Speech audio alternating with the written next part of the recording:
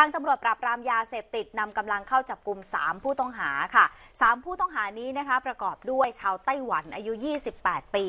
ซึ่งชาวไต้หวันคนนี้มีหน้าที่สั่งการ แล้วก็จัดลำเลียงส่งทางไปรษณีย์พักอาศัยอยู่ที่ห้อง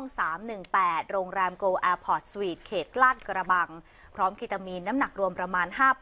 5,170 กรัม หรือว่ากว่า 5 กิโลกรัมค่ะ จากนั้นก็ขยายผลจับกลุ่มนาย ชลวิทย์คีตะตระกูล อายุยี่อายุ 49 ปี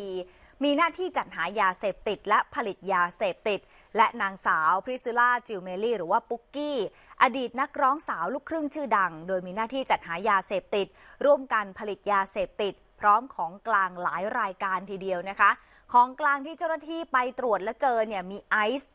98.3 กรัม ยาบ้า 8 เม็ด ยาอี 10 เม็ด เคตามีน 4 กรัม กัญชาแห้ง 40 กรัม แล้วก็ยังไปเจอสารเคมีหลายชนิด พร้อมกับอุปกรณ์ที่เชื่อว่า